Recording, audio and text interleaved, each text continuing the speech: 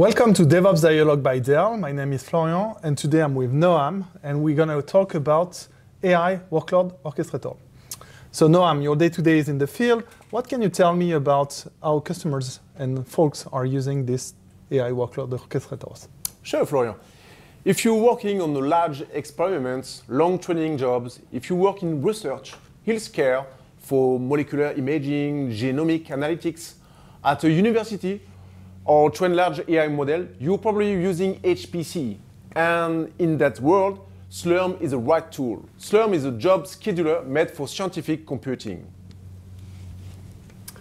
Yeah, in the cloud native world in Kubernetes, there is also a huge trend on AI. And Open, OpenAI, for example, since its incubation till this uh, Ghibli viral moment, they are using Kubernetes to uh, schedule and manage their workloads. So is Kubernetes a thing from the future, for the future, or and Slurm from the past? What's your take on it? Uh, good question, Florian. Uh, let's look how Slurm and AI orchestrators are different. It's not necessarily a battle, but probably they work together. Let's break it down. Slurm is a Linux resource manager. It's an open source job scheduler. It's made for batch jobs and parallel computing. Slurm gives full control of your resources like GPUs, memory, and network. You can split a big job into smaller parts. Some parts run in order, others run in parallel, all with simple command line tools. Slurm is perfect for training deep learning models, running simulation, or doing batch job across many nodes. You submit your work as job, job placed in queue, if there are not enough resources like GPUs or CPUs and memory, the job will wait. Slurm will run the job when the cluster is ready. Do you understand, Florian? Crystal clear, thank you. Yeah, here in Kubernetes, it has been designed primarily or originally for microservices and therefore, you know, uh, application that runs and listens. So not only training and inference here, and so if you want to benefit from the same capabilities that we have right there in Slurm, that is to say, a, a hugely performant, fine-grained scheduler consuming GPUs, memory, and network, you need to extend Kubernetes. And Kubernetes extension works through operator framework.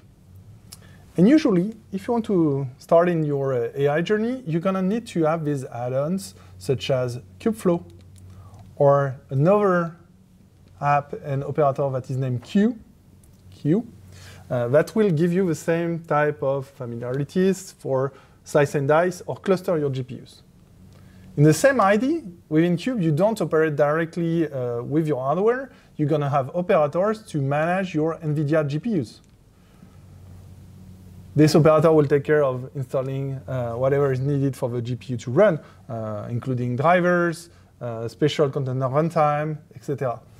Same thing if you are using a cluster of GPUs with Mellanox or InfiniBand, you're going to install the operator framework, NVIDIA operator uh, for network. How does it work within this Slurm world? Yes, uh, uh, Slurm, remember, Slurm is a scheduler. It's a traditional approach with the software.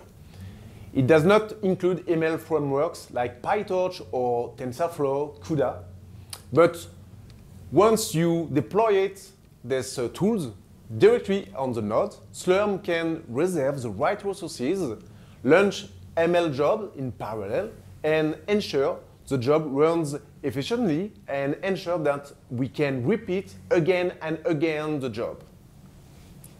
Yeah, so two, two different approach here, something you have to build, something that might be uh, you know, more composable and, and ready to go with through abstraction.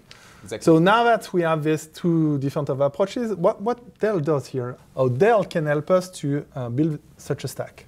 Sure. Uh, at Dell, we help uh, our customers build and run AI workloads with the best tools. If you use Slurm, we can support you with Dell AI Factory. Dell AI Factory gives you a validated hardware for HPC and AI workload with um, a best of breed of servers with uh, two GPUs until eight GPUs. We can offer unstructured storage with PowerScale or ECS for object storage. And we can offer um, the network with a PowerSwitch. And also, we offer the pre-tested software stacks with Slurm and ML tools, and we give best practices to run Slurm on Dell servers. And finally, we offer the fast setup with automation and reference design and support from Dell experts for HPC and AI workload. Thank you, Noam. If you are onboarding within the Kubernetes journey, um, we also offer at Dell Technologies solutions that are more hyperconverged and pre-configured, pre-packaged, all in one around the uh, Kubernetes distribution that is OpenShift. So through Apex Cloud Platform for OpenShift, right out of a factory, you can decide the type of hardware you're going to need in terms of number of compute, memory, GPUs, and so on, the type of switches, and your even prepackaged storage. Within it, you're going to have OpenShift installed, of course, the NVIDIA operators to operate them, GPU and network if need be, plus OpenShift AI, again, directly available, install and pre-configure. Uh, Kubernetes comes with its batteries in the sense that you have also built-in monitoring using Prometheus, Grafana, and similar tools. You have role-based access control, and pretty much everything you are used to do through declarative infrastructure uh, you, you, is just consumable. How does it work with Slurm? Anything you can enrich and um, enrich the experience with? Yes, if you want to enrich your Slurm platform, Slurm has a plugin and there's useful for MLL jobs.